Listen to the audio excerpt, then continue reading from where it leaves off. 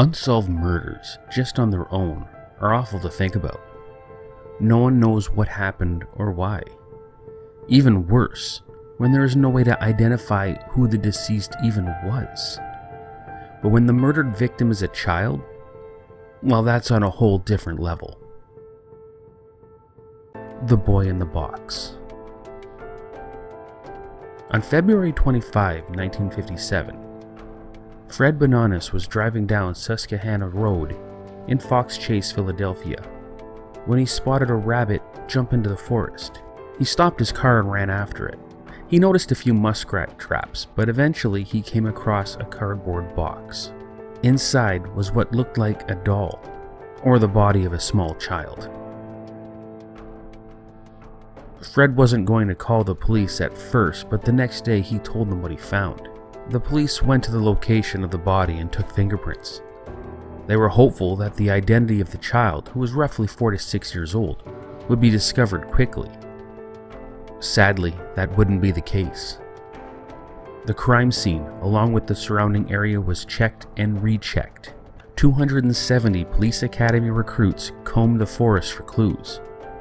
All they found was a man's blue corduroy cap, a child's scarf, and a white handkerchief with the letter G in the corner. None of these items held any clues to help with the case. The child was found completely nude, but he was wrapped in a blanket.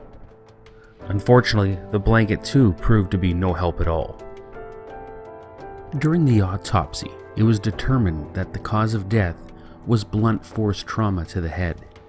They also noticed that the boy's fingernails and toenails were trimmed and his hair was recently cut. They were able to make out bruises on his forehead as if someone with a forceful hand was holding his head still while they cut his hair. So this led the police to believe that his hair was cut either just before his death or immediately after his death. And the hair was probably cut in an attempt to hide the child's identity. If that were the case, it worked.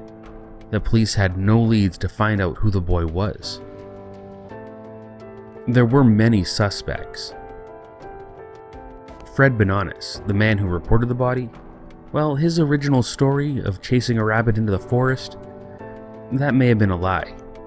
Turns out Fred had a history of spying on the women at the Good Shepherd School for Wayward Girls and that may have been the real reason why he didn't want to tell the police what he had found.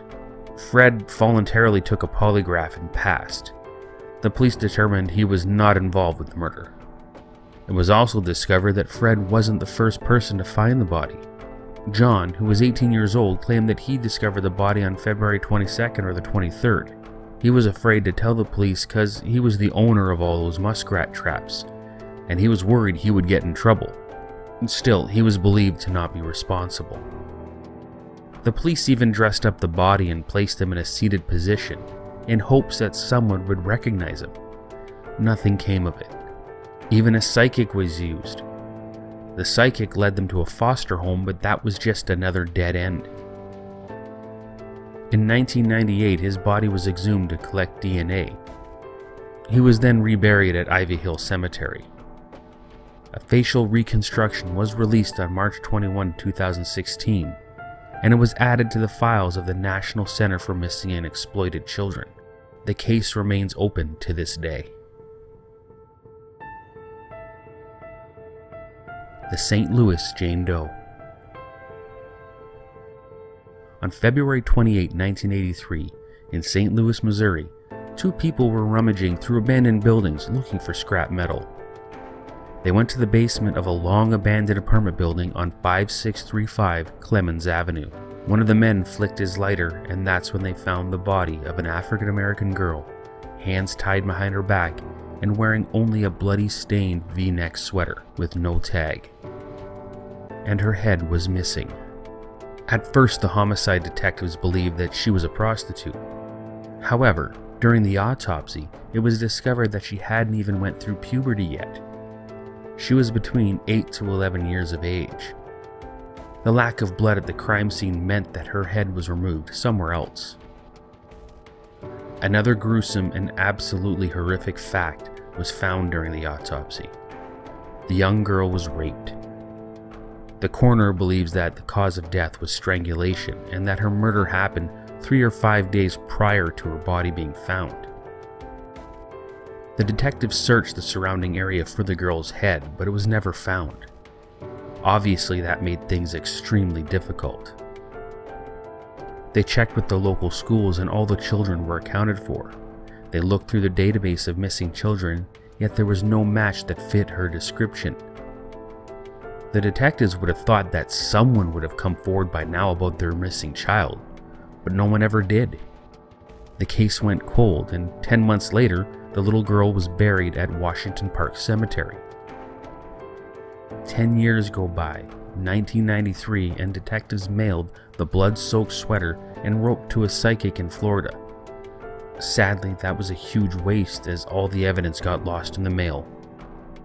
A man by the name of Vernon Brown was at one time suspected to be the little girl's killer. He was executed in 2005 for other murders, but there was no evidence that could link him to the murder of the unknown girl. Advancements in forensic science sparked new hope into the case. In 2013, it was decided they would exhume the body to collect her DNA, but the first step would be to find where she was buried. Due to awful record keeping and the fact her gravestone was unmarked, it was a bit of a challenge. Thanks to many volunteers, they were able to find her and send her body to the medical examiner's office. Unfortunately, even with all the new scientific techniques, the police believe that she may never be identified. She was reburied in Calvary Cemetery in a section called the Garden of Innocence. The many people who were involved with this case have given the little girl a name. Instead of Jane Doe, the tombstone reads Precious Hope. Thank you so much for watching. If you enjoyed this video, please don't forget to subscribe to my channel. Once again, my name is Rick, and I'll see you next time on The Unsolved.